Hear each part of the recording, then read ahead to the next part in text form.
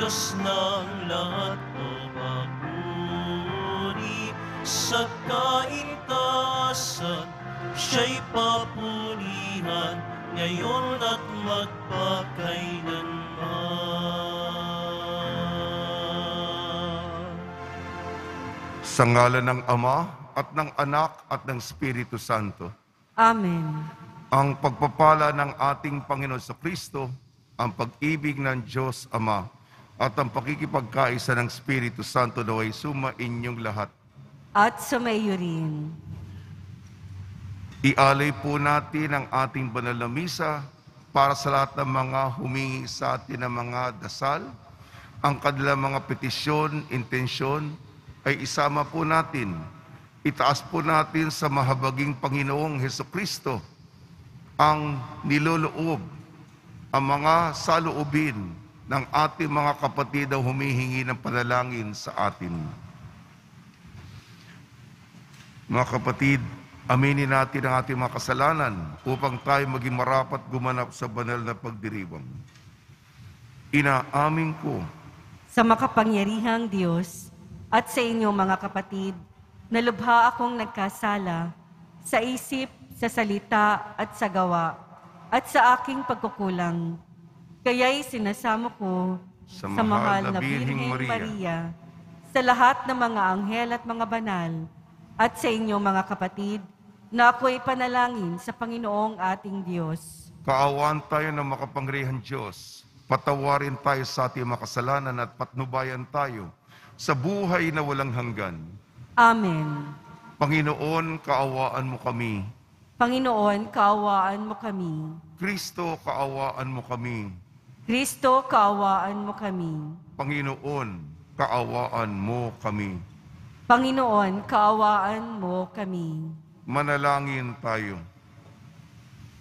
Ama namin makapangyarihan ang iyong dumadalanging sambayanan ay matapat mo nawang lingapit subaybayan upang makita namin ang dapat gampanan at para rito'y magkaroon kami ng kakayahan sa pamamagitan ng Kristo kasama ng Espiritu Santo magpasawalang hanggan. Amen.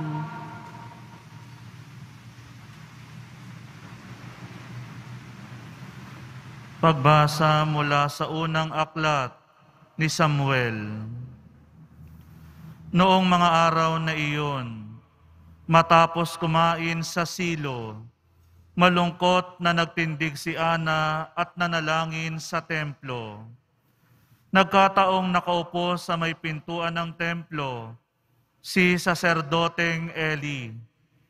Buong pait na lumuluha si Ana at taimtim na nananalangin sa Panginoon. Diyos na makapangyarihan sa lahat. Kung diringgin ninyo ang inyong abang alipin, ay inyong kahabagan. Kung hindi ninyo ako pababayaan, bagkos ay pagkakalooban ng isang anak na lalaki. Ihahandog ko siya sa inyo habang siya ay nabubuhay. Hindi ko ipapuputol ang kanyang buhok. Habang nananalangin si Ana, pinagmamasdan siya ni Eli. Kumikibot ang kanyang mga labi, ngunit hindi naririnig ang kanyang tinig, sapagkat siya ay nananalangin lamang sa sarili. Dahil dito, inakala ni Eli na siya'y lasing, kaya lumapit ito at sinabi, Tama na yan, umuwi ka muna, matulog ka para mawala ang pagkalasing mo.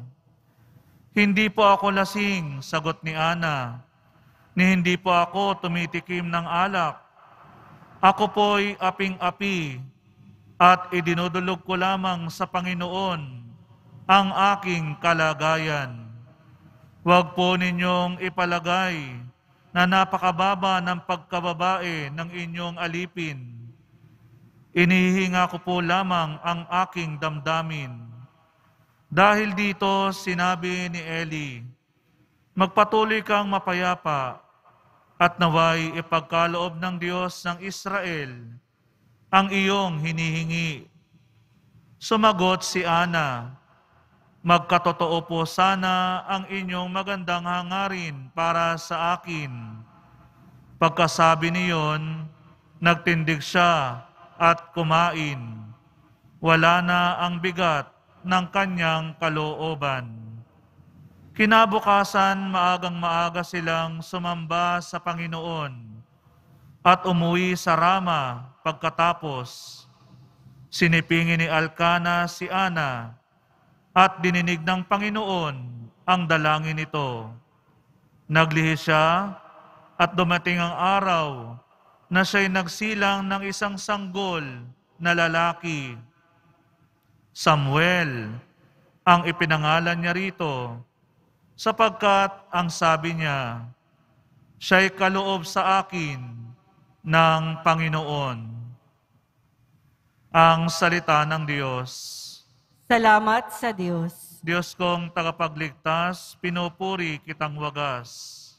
Diyos kong tagapagligtas, pinupuri kitang wagas. Pinupuri ko kayo poon dahil sa kaloob ninyo sa akin.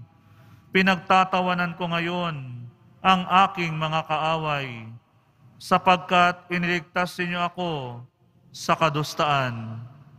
Diyos kong tagapagligtas, pinupuri kitang wagas. Nagapin ninyo ang mga makapangyarihan at pinalakas ninyo ang mahihina. Kaya ang dating mayayaman ay nagpapaupa para mabuhay. Masagana ngayon ang dakita, dakilang maralita. Ang dating baog nagsilang na mga anak at ang maraming supling ay sa lungkot nasadlak. Diyos kong tagapagligtas, pinupuri kitang wagas. Kayo poon ay may kapangyarihang magbigay o bumawi ng buhay. Maaari ninyo kaming patayin, maaari ring buhayin, maaari ninyo kaming payamanin o paghirapin, maaari ring ibaba o itaas. Diyos kong tagapagligtas, pinupuri kitang wagas. Mapadadakila ninyo kahit ang pinakaaba, mahango sa kahirapan, kahit ang pinakadukha. Maihahanay ninyo sila sa mga maharlika, mabibigyan ng karangalan, kahit na ang dustang-dusta. Diyos kong tagapagligtas, pinupuri kitang wagas.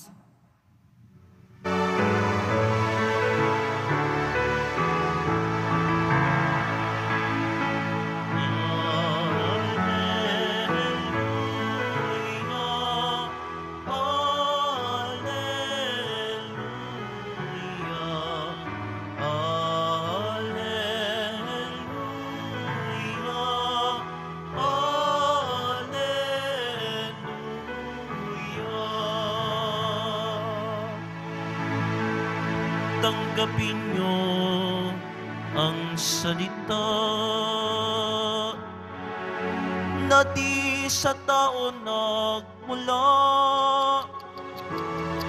kundi sa Diyos na dakila.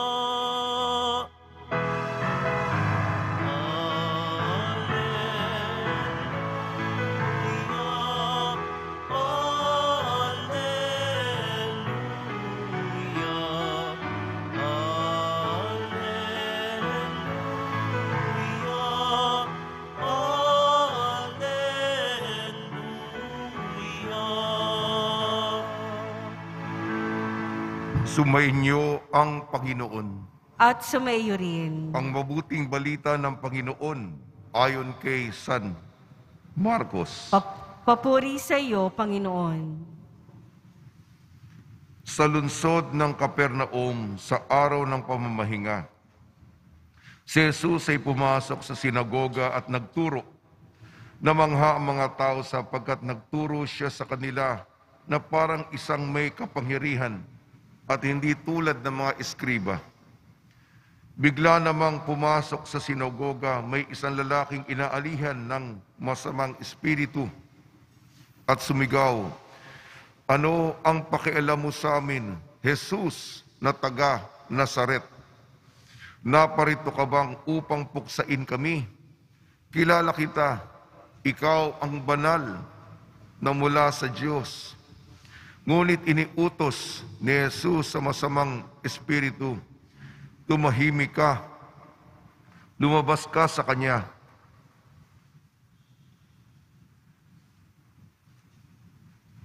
Pinapangisay ng masamang espiritu ang tao at sumigaw na lumabas nang gilalas ang lahat.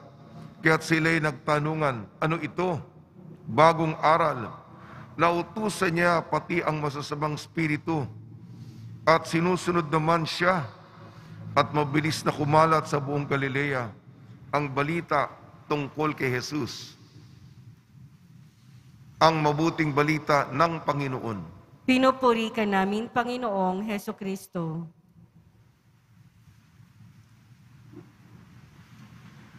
Binabati po namin kayo sa pagpapala, pagbibindisyon, pagbibiyaya, pagkakaloob ng napakaraming grasya mula sa ating mabait na Nuestro Padre Jesus Nazareno. Patuloy po tayo nagdadasal para sa mga kahilingan ng ating mga kapatid sa ating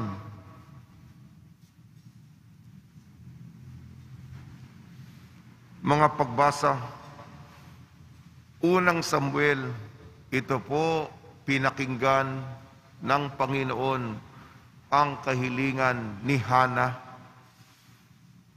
Matagal po siyang walang anak para bang hindi siya napapaboran. Mga kapitbahay niya, kinukutya siya kung bakit wala siyang anak.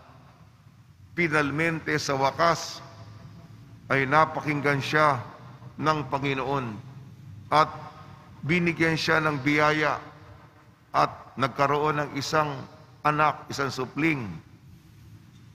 Ang pangalan na ibinigay ay Samuel sapagkat nabiyayaan siya ng Diyos. Samuel. At si Samuel ay magiging hinirang, kalugod-lugod, walang alak na iinumin itong batang ito. Siya'y konsagrado sa Panginoon. Nakikinig ang Diyos sa ating mga pagsamo sa Kanya. Sa ating ebanghelyo ayon kay San Marcos, kakaiba si Jesus, nagtuturo ng may otoridad. Hindi lamang ito na magaling magsalita, kung hindi nakikita ng mga tao na may bisa, may lakas, may puwersa ang kanyang pagtuturo. Halimbawa, tuwing dumadaan siya, yung mga taong inaalihan ng masamang demonyo, sumisigaw. Itong mga masasamang spirito, meron silang pananampalataya. Ikilala nila si Jesus. Ang sabi nila, anong gagawin mo sa amin? Alam namin kung sino ka. Ikaw ang banal ng Diyos.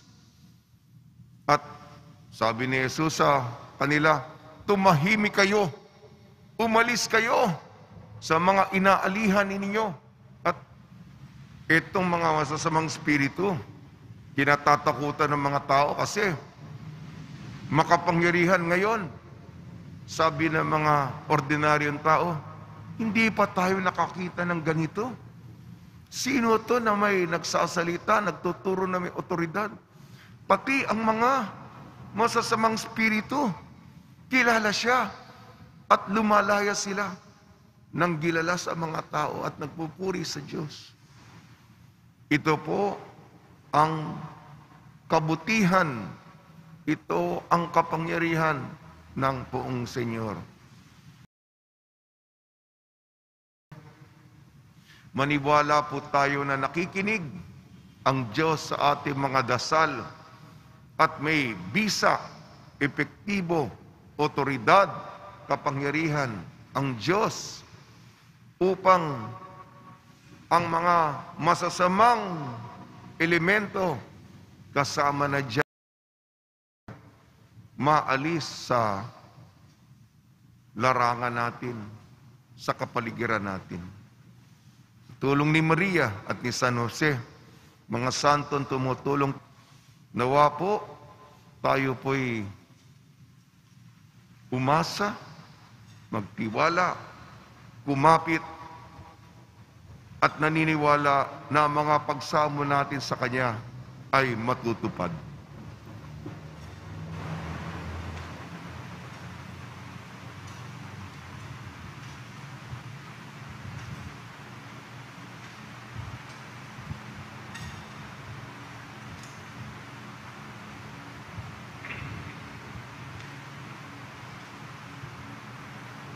Minamahal kong mga kapatid, sa pamamagitan ng Ebanghelyo, nagsasalita sa atin si Kristo na may walang hanggang kapangyarihan at mga himala ng pagpapagaling. Tugon po natin, Diyos na tunay na makapangyarihan, hipuin mo kami. Diyos na tunay na makapangyarihan, hipuin mo kami. Ang simbahan naway patuloy na ituro ang katotohanan ni Kristo at labanan ang mga kasamaan sa ating panahon. Manalangin tayo. Diyos na tunay na makapangyarihan, hipuin mo kami. Ang mga pinuno sa daigdig naway isulong ang kabutihan sa kani-kanyang gobyerno at maging maalab sa pagbabaklas ng kasamaan sa lipunan. Manalangin tayo.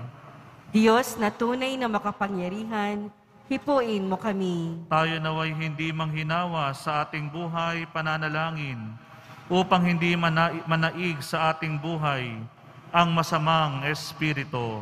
Manalangin tayo. Diyos na tunay na makapangyarihan, hipuin mo kami. Ang mga may sakit naway maging malaya sa kanilang mga pisikal at espiritual na paghihirap. Manalangin tayo. Diyos na tunay na makapangyarihan, hipuin mo kami. Ama naming nasa langit, nagbubunyi kami sa yaman ng iyong pag-ibig sa amin. Pakatatagin mo ang iyong kapangyarihan sa amin at samahan mo kami sa landas ng aming buhay.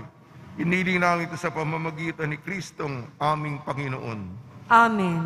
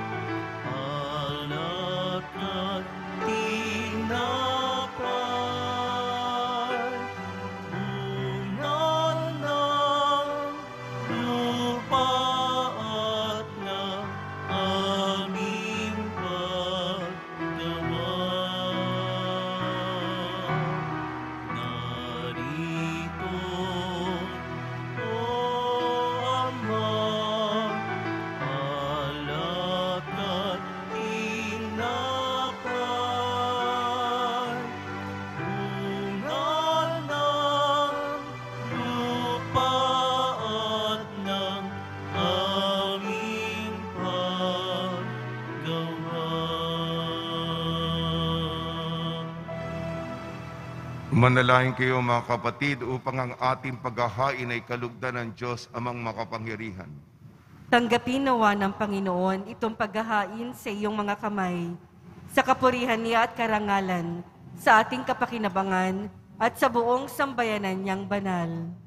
Ama namin lumikha, ang paghahaing ito ng iyong sambayanan ay yung marapati ngayong paunlara, paunlakan. Pakundangan dito mapasami nawa ang iyong kabanalan at ang masugid naming dalangin ay iyong pagbigyan sa pamamagitan sa Kristo kasama ng Espiritu Santo magpasawalang hanggan. Amen. Sumainyo ang Panginoon. At sumaiyo rin. Itaas sa Diyos ang iyong puso at diwa.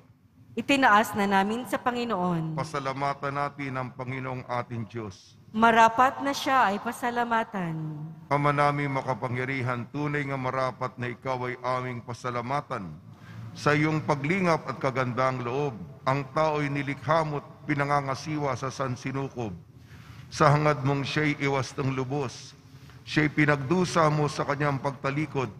Siya yung pagiliw iyong ipinahintulot na makabalik siya sa pamamagitan ni Kristo Jesus. Kaya kaysa namang hela nagsisiawit ng papuri sa iyo, nang walang humpay sa kalangitan kami nagbubunyi sa iyong kadakilaan. Santo, Santo, Santo, Panginoong Diyos ng mga hukbo, napupuno ang langit at lupa ng kadakilaan mo, o sana sa kaitaasan. Pinagpala ang naparirito sa ngalan ng Panginoon, o sana sa kaitaasan. Ama naming banal, ikaw ang bukal ng tanang kabanalan. Kaya sa pamamagitan ng Espiritu, gawin mong banal ang mga kaloob na ito upang para sa amin maging katawan at dugo ng aming Panginoong Kristo. Bago niya pinagtiis ang kusang loob na maging handog, hinawakan niya ang tinapay. Pinasalamatan kanya. Pinaghati-hati niya yon. Iniabot sa kanya malagad at sinabi, Tanggapin ninyong lahat ito at kanin. Ito ang aking katawan, niyahandog para sa inyo.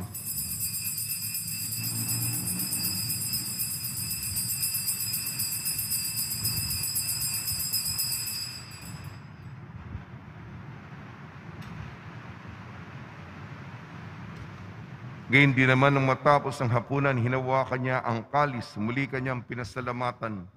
Iniabot niya ang kalis sa kanyang malagad at sinabi, Tanggapin ninyong lahat ito't inumin. Itong kalis ng aking dugo, ng bago at walang hanggan tipan. Aking dugo na ibubuhos para sa inyo at para sa lahat sa kapagpapatawad ng mga kasalanan. Gawin ninyo ito sa pag-alala sa akin.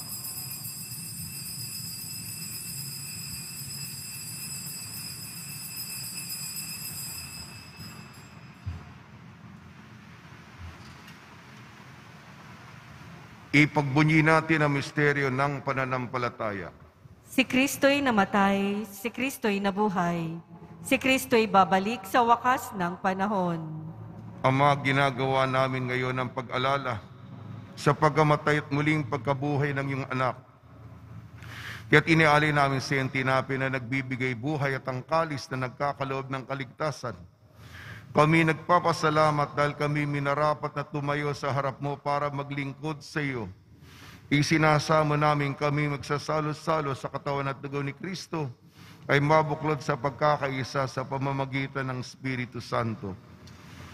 Ama, lingapi mo yung simbahang laganap sa buong daigdig. Puspusin mo kami sa pag-ibig kaysa ni Francisco na aming Papa at ni Jose na aming Obispo at ng Tanang Kaparian. Alalahanin mo rin ang mga kapatid namin na himlay na may pag-asang sila'y muling mabubuhay gayon din ang lahat ng mga pumanaw. Pinagdadasal po natin si ang kaluluwa ng yumaong si Monsignor Norberto Habos. Gayon din, pinagdadasal natin ang lahat ng mga yumao sa kapanahunan ng pandemya. Kaawad mo sila at patuloyin sa iyong kaliwanagan. Kaawad mo at pagdapating kami lahat na makasalo sa iyong buhay na walang wakas. Kaysa ng mahal na Birhing Maria na ina ng Diyos, Nuestra Señora de la Buena Hora, ng kabiyak na puso niyang si San Jose, kaysa ng mga apostol, San Aloysius Gonzaga, San Sebastian, San Lazaro, San Roque, San Juan Bautista at ng lahat ng mabanal na namuhay dito sa daigdig ng kalugod-lugod sa iyo. May pagdiwang nawa namin ang pagpupuri sa kararangal mo sa pamamagitan ng anak na aming Panginoong Heso Kristo.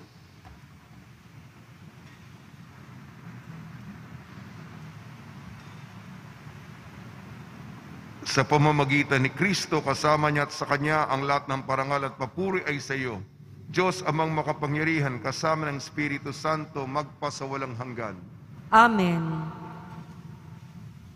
Sa tagubili naman nakakagaling na utos sa turo ni Yeso Kristo na Panginoon natin na Diyos, ipahayag natin ng lakas loob. Ama namin, sumasalangit ka. Sambahin ang ngalan mo. Mapa sa amin ang kaharian mo. Sundin ang loob mo dito sa lupa para ng sa langit. Bigyan mo po kami ngayon ng aming kakanin sa araw-araw.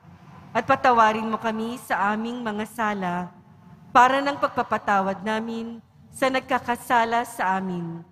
At huwag mo kaming ipahintulot sa tukso at iadya mo kami sa lahat ng masama. Hinihiling namin kami iadya sa lahat ng masama. Pagkalooban ng kapayapaan, araw-araw iligtas sa kasalanan at ilayo sa lahat ng kapahamakan. Samantalang aming pinananabikan ang dakilang araw ng pagpapahayag ng tagapagligtas naming si Yeso Kristo. Sapagkat iyo ang kaharian at ang kapangyarihan at ang kapurihan magpakailanman. Amen. Panginoon sa Kristo, sinabi mo sa mga apostol, kapayapaan ang iniiwan ko sa inyo, ang aking kapayapaan ang ibinibigay ko sa inyo. Tungyan mo ang aming pananampalataya at huwag ang aming mga pagkakasala. At pagkalooban mo kami ng kapayapaan at pagkakaisa, ayon sa iyong kalooban kasama ng Espiritu Santo magpasawalang hanggan. Amen. Mga kapatid, mga kaibigan, sa inyo po ang kapayapaan ng ating Panginoon. At sumaiyo rin. Magbigayan po tayo ng kapayapaan sa isa't isa. Kordero ng Diyos na nag-aalis ng mga kasalanan ng sandibutan, maawa ka sa amin. Kordero ng Diyos na nag-aalis ng mga kasalanan ng sanlibutan, maawa ka sa amin. Kordero ng Diyos na nag-aalis ng mga kasalanan ng sanlibutan, ipagkaloob mo sa amin ang kapayapaan. Ito ang kordero ng Diyos. Ito nag-aalis ng kasalanan ng sanlibutan. Mapalad ang mga inayayahan sa kanyang piging. Panginoon, hindi ako karapat-dapat na magpatuloy sa iyo, ngunit sa isang salita mo lamang ay gagaling na ako.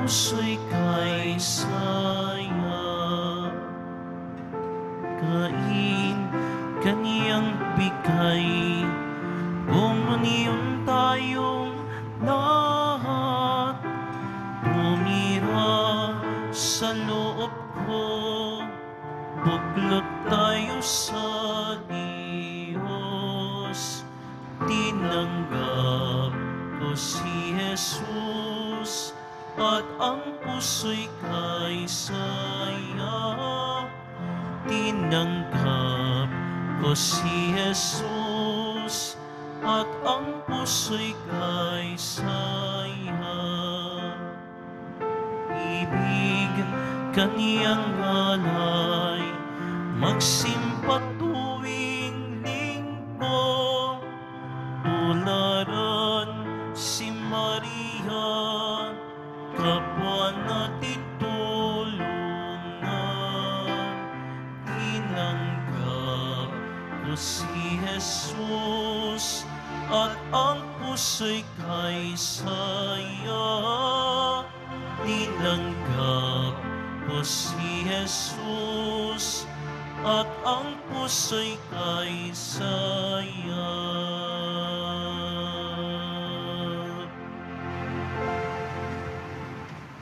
Manalangin tayo.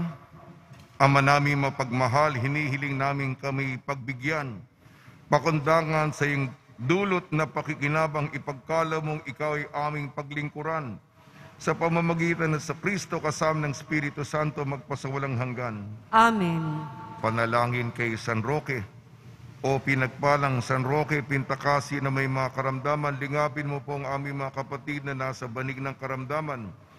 Ang iyong pamamagitan ay sadyang makapangyarihan na nung ikay narito po sa daigding maraming gumaling dahil sa pagkantandaon sa kanila ng kamahal-mahalang krus. Ngayon ikay nilulhati na dyan sa langit na nanalig kami ngayong pamamagitan ay lubhang magaling. Ialay mo po sa Panginoon Diyos, yaring aming mahinaing at sa tulong po ninyo ay makamit ang kagalingan ng aming kaluluwa at katawan. Pakundangan sa mga hirap at sakit ng Panginoon sa Kristo at inyo po mga panalangin. Amen.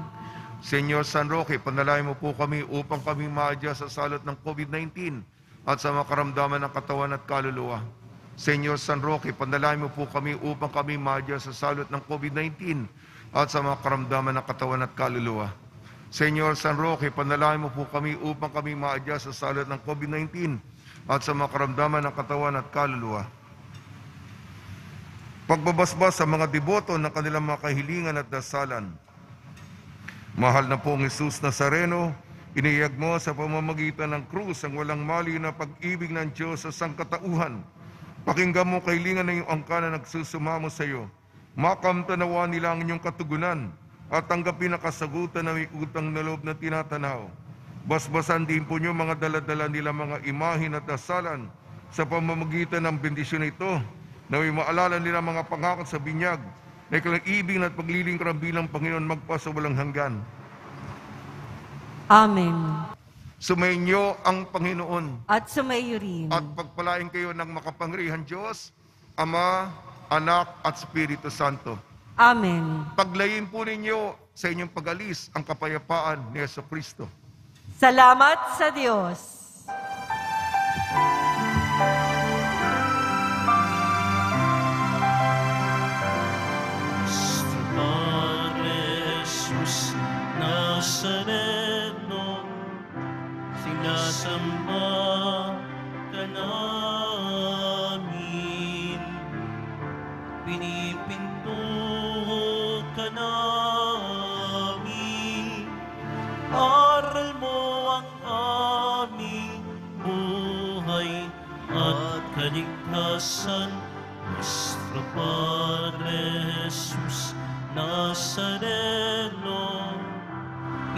iligtas mo kami sa kasalanan. Ang krus mong kinamatayan ay sagisag ng aming kaligtasan. Nuestro Padre Jesus Nazareno, dinarangal ka namin. Nuestro Padre Jesus Nazareno, minulwalhati ka namin.